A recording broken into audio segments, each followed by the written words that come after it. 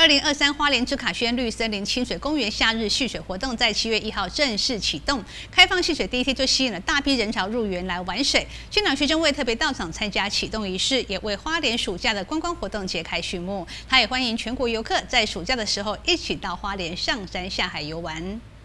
斯卡轩清水公园自前县长傅昆奇的壁画之下，建立了提供乡亲具有安全优质的戏水场所。园区占地十八公顷，花莲县政府从华东基金争取到七千五百万元，舍出经费，在芝卡轩公园建立了五个共融游戏区，深受家长和孩子的喜爱。我想在芝卡轩十八公顷里面有一个小方块在放我们的水上森林公园，是一个非常非常棒的，尤其是在森林当中的一个水上公园，这可能是全国独一。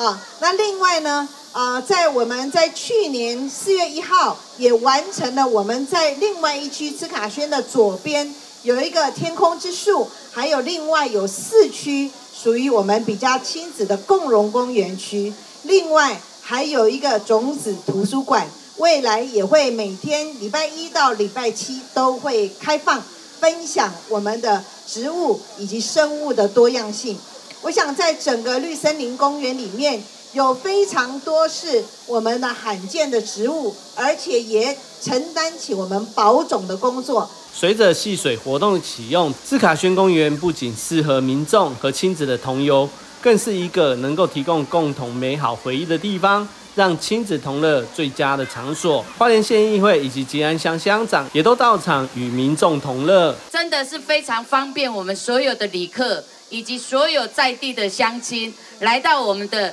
芝卡轩玩，呃，当然刚刚县长有提到了，要各位家长还有小朋友一定要注意安全。那当然有我们的救生员在现场，不过我们希望我们各位小朋友自己本身也要注意到安全，家长也要随时的注意一下。那我想我们这么宽的这个位置，能够让我们所有的乡亲在这里，不管是休闲或运动，都是一个非常棒的。虽然在外地有很多很多幼教的好朋友，他们都说已经要安排来到吉安，来到花莲，享受不一样的清水跟我们的绿森林之旅。我相信这是